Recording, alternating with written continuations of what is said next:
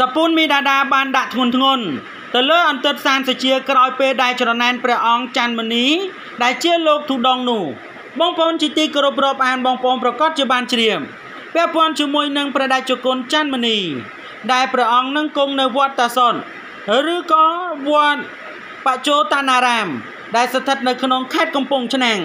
ដែលកំពុងតែបង្កឲ្យមានការចាប់អារម្មណ៍យ៉ាងខ្លាំងជាពិសេស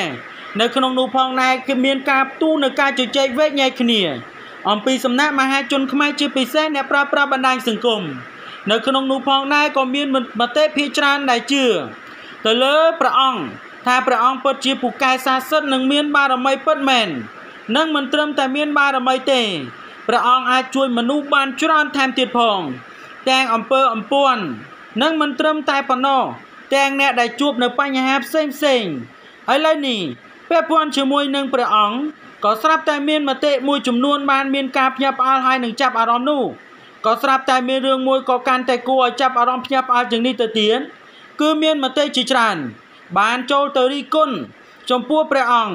នៅក្នុងនោះផងដែរក៏គេឃើញបុគ្គលមួយចំនួន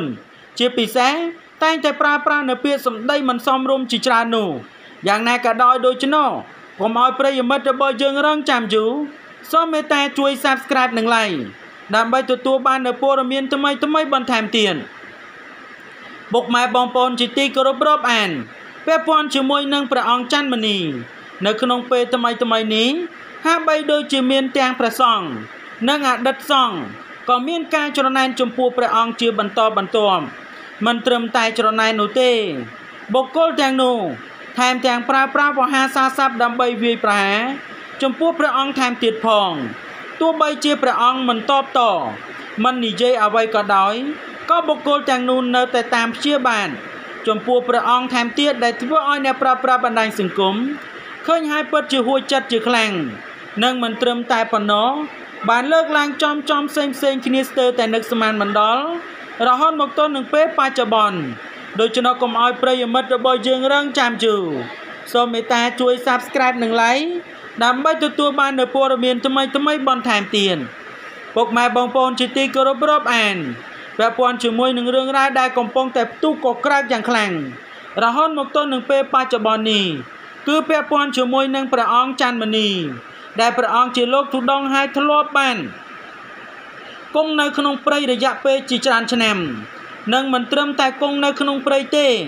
ដែលព្រះអង្គចង់យល់ច្បាស់អំពីអមនុស្ស និងក៏ដូចជាអ្នករស់នៅខាងក្រៅដែលចង់ដឹងអំពីភាពវិរន់និងក៏ដូចជាលក្ខណៈអ្វីផ្សេងផ្សេងនៅក្នុងព្រៃនោះហើយបានសម្ដែងទៅជាធម៌ទេសនា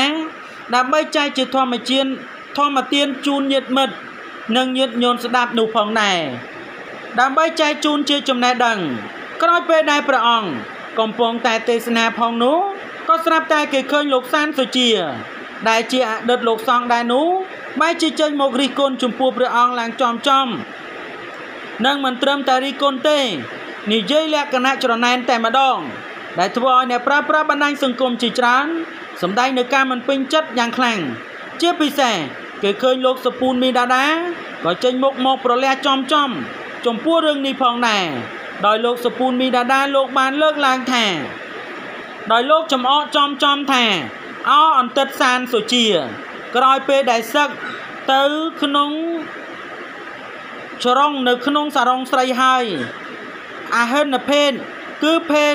ថោចទៀបនិងអាចោព្រាននារី សានសុជានឹងខ្លាចទៅជាបុគ្គលពៀល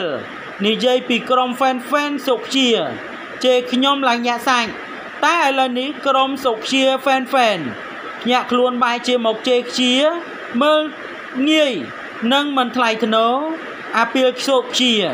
និងញាក់សាច់វិញតែម្ដងពលគឺសុជា គឺបងផុសពីប្អូនពីលឯងតែម្ដងនឹង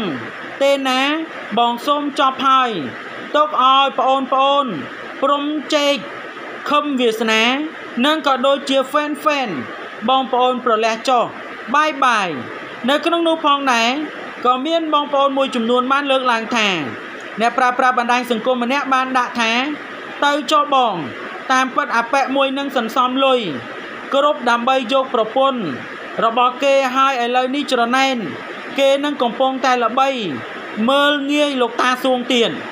នេះគឺជាការបញ្ជាក់របស់អ្នកប្រើប្រាស់បណ្ដាញសង្គមម្នាក់ទៀតក៏បានខមមិនថា ពីមុនខឹងបងនឹងអារឿងតែឥឡូវនេះ គឺដឹងខ្លួនហើយ បាទអរគុណប្អូន ពីមុនខ្ញុំខឹងបងដែរតែឥឡូវនេះឈប់ខឹងហើយសុំទោ នឹងមិនត្រឹមតែប៉ុណ្ណោះបាទសូមអរគុណលោកសំពូនមីណាដាបានលើកឡើងបែបនេះហើយ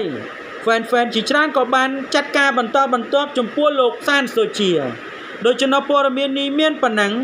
ដើម្បីទទួលបាននូវព័ត៌មានថ្មីៗបន្ថែមទៀតសូម Subscribe និង Like